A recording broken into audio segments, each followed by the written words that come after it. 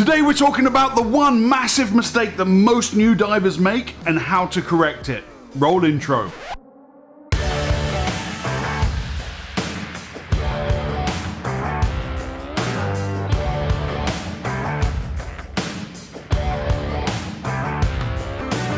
Ladies and gentlemen, welcome to Divers Ready. Thank you so much for joining me. It's time for a classic Mouthpiece Monday, where I share scuba industry hints and tips to make you a better, safer diver. So if you want to be a better scuba diver, make your next dive on our subscribe button and we'll dive straight into it. Now, I don't deal in clickbait, so we're going to go straight to the chase. Without a doubt, my most requested coaching session as a professional dive instructor is can you help me work on my buoyancy?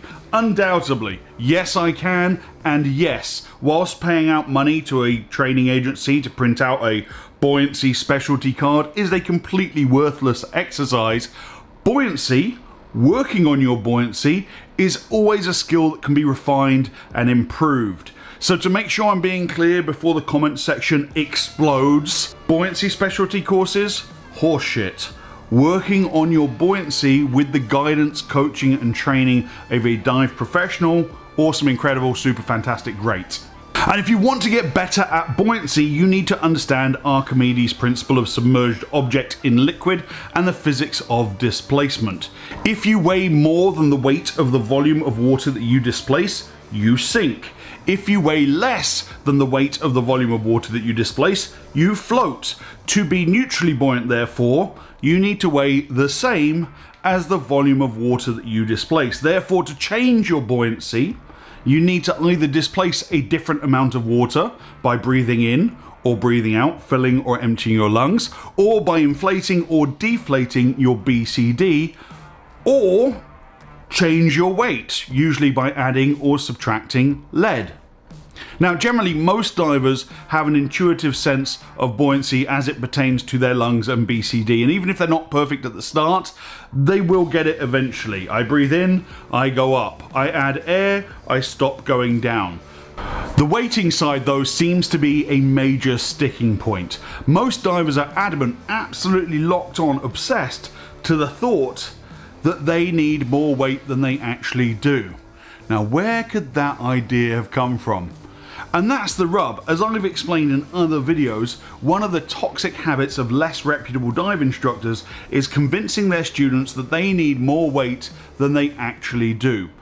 I get it, overweighting your students is fast, uh, it's very convenient for the instructor, it cuts time off of the courses, makes the course faster. It makes your students easier to control because you know if you overweight them and you're going to be making them kneel for skills anyway, right? Why does it matter if you anchor them to the bottom and just shove a couple of extra pounds in there? Absolutely reprehensible behaviour. Ugh! Boils my blood.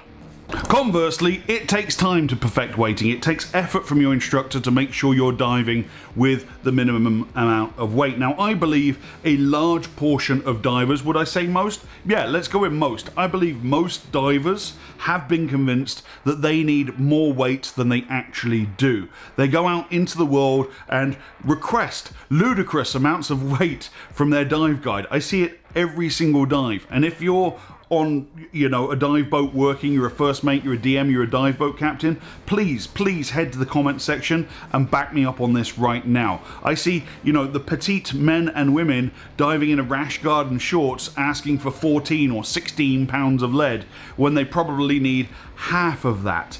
Insane.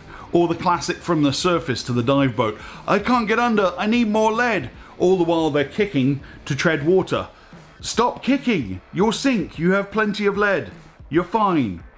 So let's look at why diving with too much lead is a problem. How do you know if you're overweighted? And how do you fix it? You always want to be diving with the minimum amount of lead, which I will refer to in this video as ideal weighting, for lots of reasons, but for these two in particular. Number one, buoyancy is easier with your ideal amount of weight. Less gas in your BCD means buoyancy changes as you change depth are less extreme. So if you're diving overweighted, you need to overcompensate with your BCD by adding more gas. The more gas in your BCD, the more gas expansion will occur as you swim up and over that rocky outcrop or reef line, which means the more your buoyancy will be affected. Conversely, the less gas you have in your BCD, the less extreme changes in buoyancy will be as you change depths, and neutral buoyancy will be easier to nail. And it's easy to spot. Look around you on your next 30 foot reef dive. Look at the other divers' BCDs. See the diver there where their BCD is a balloon, it's three quarters full of gas, but they seem to be swimming along doing all right, they're neutrally buoyant. Too much lead. There's no way your BCD should be that full at depth. So one way to tell if you're overweighted on your next dive is consider how much gas you're putting into your BCD. If you're hammering on that inflator button to stop you from going into the sand like a lawn dart, you're probably overweighted. Descents, when ideally weighted, should be controlled and easy to stop. Secondly, diving with too much weight increases your gas consumption, something we all want to work on as divers. Not only do you have to put more gas in your BCD to stay off the bottom, which is a waste of gas, comes from the same source as the gas you're breathing, you're also going to increase your sac rate. Imagine walking up a hill versus walking up a hill carrying a weight. If you have to propel excess lead through the water column, you will breathe more. Your cylinder won't last as long. Your dives will be shorter and less enjoyable. Your buddy will get all twisted up at you. Your work performance will drop off. Your boss will despise you. You'll be less desirable to your preferred mating gender. Your family will disown you and move away. All right, maybe I went too far, but nothing good will happen if you dive overweighted. So, how do we fix this and nail your ideal weighting? Well, most divers are taught to dive, do a weight check at the start of their dive. I hope you were. This is a fine practice and it goes something like this. You jump in, reg in, mask on, and you empty your BCD whilst holding a normal breath, and you should float somewhere around eye level. I think that's pretty much verbatim from the scuba training manuals. Then, when you breathe out, you should start to sink. The main mistake student divers make here is they actually instinctively, because they're mammals, hold their breath and start to tread water and kick to keep their face above the water. So one tip I have as an instructor is when I'm doing this check, I uh, ask my students to cross their ankles and I check their fins aren't furiously kicking to keep themselves up. But during the during the weight check, that's definitely something you want to avoid. However, this will only tell you if you have enough lead to get under. It won't tell you if you have too much.